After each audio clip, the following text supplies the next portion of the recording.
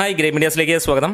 അങ്ങനെ ഭീഷ്മപർവം സിനിമയുടെ global launch നടക്കുന്ന കാര്യം നമുക്ക് എല്ലാവർക്കും അറിയാം. അപ്പം അതിന്റെ പാർട്ടായിട്ട് നമുക്ക് മമ്മൂക്ക സ്റ്റേജിലിരുന്ന് കാര്യങ്ങൾ പറയുമ്പോൾ ഏറ്റവും അട്രാക്റ്റീവ് ആയിട്ടുള്ള ഒരു കാര്യം എന്ന് പറഞ്ഞു കഴിഞ്ഞാൽ സാധാരണ ഒരു സിനിമ ഇറങ്ങുന്നതിന് മുമ്പ് തലേ ദിവസങ്ങളിൽ അല്ലെങ്കിൽ ഈ ഇതേപോലെയുള്ള അവസരങ്ങളിൽ ആ സിനിമയെക്കുറിച്ച് ഒരുപാട് കൊട്ടിഘോഷിക്കുന്ന കാര്യങ്ങൾ നമ്മൾ ഏത് നടനിൽ നിന്നും കാണാറുള്ള ഒരു കാര്യം തന്നെയാണ്. കാരണം ഫിലിം പ്രൊമോഷനാണ് അവിടെ ചെയ്യുന്നത്. അത് തന്നെയാണ് ശരിയായിട്ടുള്ള കാര്യവും അങ്ങനെയാണ് ചെയ്യാറുള്ളതും.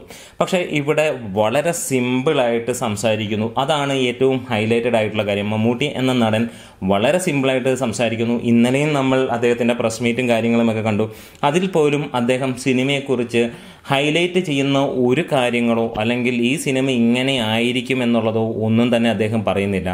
അദ്ദേഹം പറയുന്ന അനുസരിച്ചിട്ട് കാണാൻ വരുന്നവരിലൂടെ തന്നെയാണ് ഈ സിനിമ വിജയിക്കുകയോ പരാജയപ്പെടുകയോ ഒക്കെ ചെയ്യുന്നത് എന്നുള്ളത് തന്നെയാണ് ആ ഒരു കാര്യമാണ് നമുക്ക് മനസ്സിലാവുന്നത്. ഇപ്പോൾ ഇന്ന് ഈ ഗ്ലോബൽ ലോഞ്ചിന്റെ വീഡിയോസൊക്കെ നമ്മൾ കാണുമ്പോൾ നമുക്ക് കാണാൻ കഴിയുന്ന ഭീഷ്മപർവത്തെക്കുറിച്ച് പറയുന്നു. ഒരു ലാളിത്യത്തിന് ഇട്ടേക്കുന്ന പേര് അല്ലെങ്കിൽ ഭീഷ്മരുടെ ജീവിതവുമായി സിനിമയ്ക്ക് അല്ലെങ്കിൽ എന്തൊക്കെയോ ചായ്വുകൾ ഉണ്ടാകാം കഥാപാത്രത്തിന്. അത് നമുക്ക് എല്ലാവർക്കും അറിയാം. ഒരു ഈ പറഞ്ഞ പോലെ ഇതേപോലെയുള്ള വലിയ കാവ്യങ്ങൾ അല്ലെങ്കിൽ വലിയ വലിയ കാര്യങ്ങൾ എഴുതി വെച്ചിട്ടുണ്ട് പുരാണങ്ങളിൽ.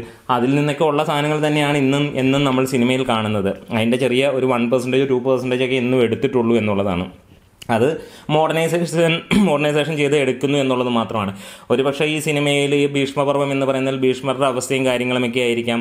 അതുകൊണ്ട് തന്നെ ആയിരിക്കാം ഇതിനൊരു പേരും കാര്യങ്ങളും. പക്ഷേ അത് ഒരു മോഡേൺ ഫാമിലിയിലേക്ക് വരുന്ന ഒരു രീതിയിൽ തന്നെ ആയിരിക്കാം എന്നുള്ളത് തന്നെയാണ്. അപ്പോൾ എന്താണേലും എന്നെ അട്രാക്റ്റ് ചെയ്ത ഒരു കാര്യം എന്ന് പറഞ്ഞു കഴിഞ്ഞാൽ വേറെ ഒന്നുമല്ല.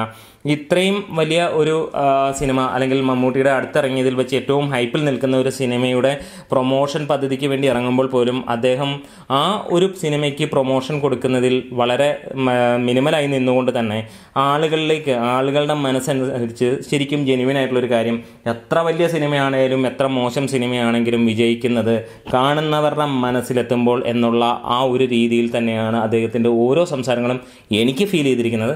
നിങ്ങൾക്ക് എങ്ങനെ ഫീൽ ചെയ്തു? എന്നുള്ളതൊക്കെ നിങ്ങൾക്കൊന്ന് പറയാം.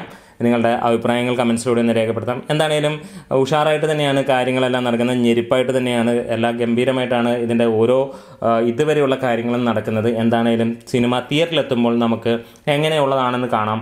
പ്രതീക്ഷ അർപ്പിച്ചതുപോലെയാണോ? അതിനൊപ്പം നിൽക്കുമോ ഇല്ലയോ എന്നൊക്കെയുള്ളത് എന്താണേലും വലിയ പ്രതീക്ഷയോടെ തന്നെ നമുക്ക് സിനിമയ്ക്ക് വേണ്ടി കാത്തിരിക്കാം. നമ്മുടെ വീഡിയോസ് ഇഷ്ടമെങ്കിൽ ലൈക്ക് ചെയ്ത് ഷെയർ ചെയ്ത് സബ്സ്ക്രൈബ് ചെയ്ത് തരണം. Great Medias.